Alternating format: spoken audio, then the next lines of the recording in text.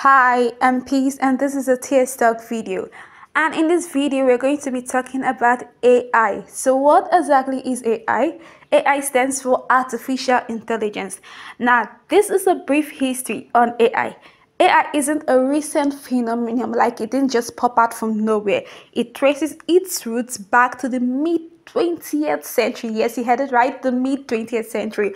Pioneers like Alan Turing and John McCarthy laid the foundation for what we know today as AI. Now, the learning abilities of AI is limitless. Like, at its core, AI is about machines learning from data and improving over time. One key aspect of AI is actually machine learning applications ai is everywhere like the applications of ai is endless from self-driving cars to healthcare and even the virtual assistant on your phone. Yes the virtual assistant on your mobile phones are all ai types of ai there are two main types of ai we have the narrow ai which assess in specific tasks specific tasks and the general AI which possesses human-like intelligence.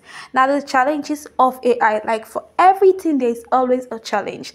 Now the challenge of AI is ethical dilemmas, security concerns and potential job dis displacement, etc. Now, what does the future of AI holds for you and I? The future of AI holds endless possibilities as we continue to push the boundaries of what machines can do.